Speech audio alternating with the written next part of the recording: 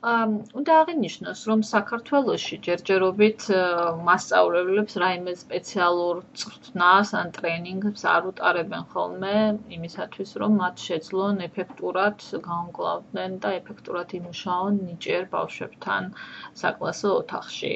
თუმცა, რასაკვირველია, ამ საკითხებში გარკვევა ძალიან სასარგებლო იქნებოდა მასწავლებლებს, როგორც მასწავლებლებისათვის, ასევე ნიჭიერი ბავშვების მშობლებისთვისაც. პირველ რიგში, მასწავლებელს ძალიან დაეხმარება იმის შესახებ ცოდნა, თუ როგორ უნდა ამოიცნოს მან ყავს თუ არა ნიჭიერი ბავშვი კლასში. საერთოდ არსებობს 6 სფერო, რომელთა მიხედვით აფასებენ ხოლმე ბავშვს სტანდარტიზირებულ ტესტებთან კომბინაციაში. ეს სფეროებია საბაზო, კოგნიტური, აკადემიური, შემოქმედებითი, ლიდერობა, ვიზუალური და გამომსახველობითი ხელოვნება. ასევე იყენებენ ხოლმე თანატოლთა და მასწავლებლების შეფასებას და ნომინაციას, მათზე დაკვირვებას, პორტფოლიოებს და ასე შემდეგ. კვლევარების მტკიცებით, არსებული კვლევების შედეგები ადასტურებენ, რომ იდენტიფიცირების ასეთი სისტემები ვალიდური არის. დღესდღეობით შემუშავებულია და არსებობს ნიჭიერ ბავშვთა სწავლების სხვადასხვა ფორმა. ერთ-ერთი არის ჰობი, რასაკვირველია, ეს კითხვა, სპორტი, კომპიუტერული თამაშები, ჭადრაკი, მუსიკა, ცეკვა, უცხო ენები, ხელოვნება და სხვა სკოლის გარეშე აქტივობები, სადაც ამ ბავშვებს შეუძლიათ გამოავლინონ თავისი შესაძლებლობები. აა მეორე მეთოდი ეს არის ინგლისურად ქვია enrichment, ანუ აა გამდიდრება, გამრავალფეროვნება. ეს არის ის დამატებითი მასალა, მასალის არსებობა, რომელსაც ნიჭიერ ბავშვებს ჩვეულებრივ კლასში აძლევენ ხოლმე. აა და ან რამე სპეციალურ საგნობრივ პროგრამებში მონაწილეობა. არსებობს კიდევ ასეთი ფორმა, რომელსაც კომპაქტინგს, კომპაქტინგს უწოდებენ.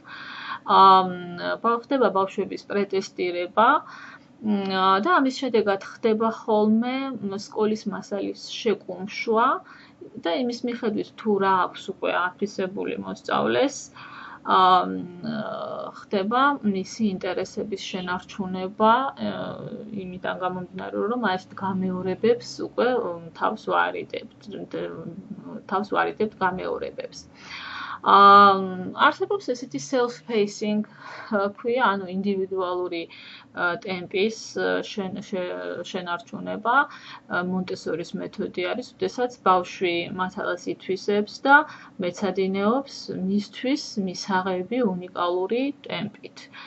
აა არსებობს ასევე აქსელერიზაცია აქსელერაციის მეთოდი, როდესაც ხდება ნიჭიერი ბავშვების უფრო მაღალ კლასში გადაყვანა აა ყველა ან ნაწილო ერთ-ერთ საგანში სადაც ან სადაც შეიძლება ასევე ისინი ჩაერთონ სხვა სხვა უნივერსიტეტო პროგრამებშიც და ხდება მათი ადრეულ ასაკში მიღება სხვა სხვა კოლეჯებში.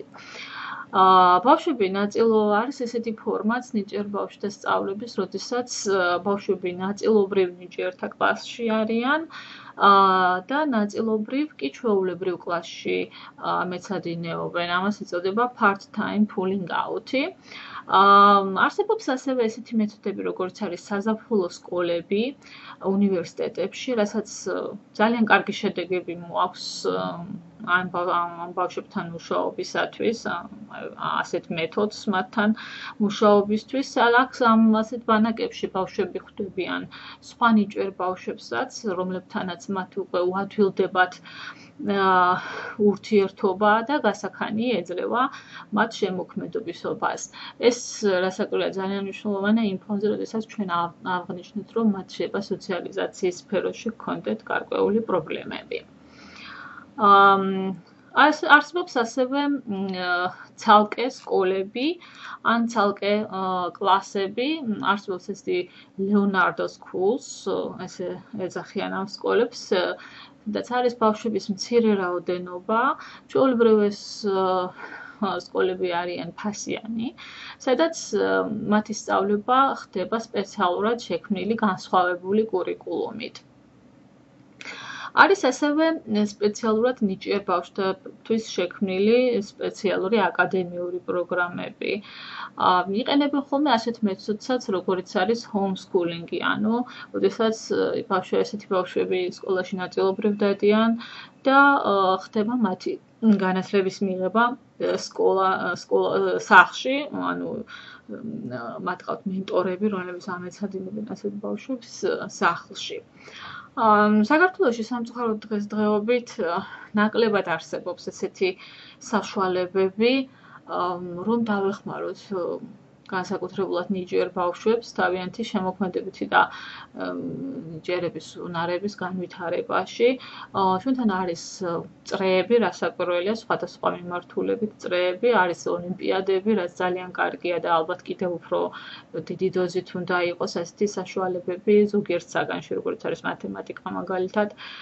და სასურველია საერთოდაც სამომავლოდ რომ კანონმდებლობას რაღაცნაირად ითვალისწინებდნენ განსაკუთრებით ნიჭიერ ბავშვთა სწავლების საჭიროებებს სკოლაში. თუმცა მაინც უნდა აღინიშნოს რომ მთავარ როლს ნიჭიერ ბავშვთა განათლებაში მაინც ასრულებენ მშობლები, რომლებსაც გააზრებული აქვთ თავიანთი ბავშვის უნიკალურობა, თავიანთი ბავშვის უნიკალური საჭიროებები და შესაბამისად უზრუნველყოფენ მათ იმ საშუალებებით, რომ მოხდეს ამ ბავშვების პოტენციალის სრულად გამოვლენა.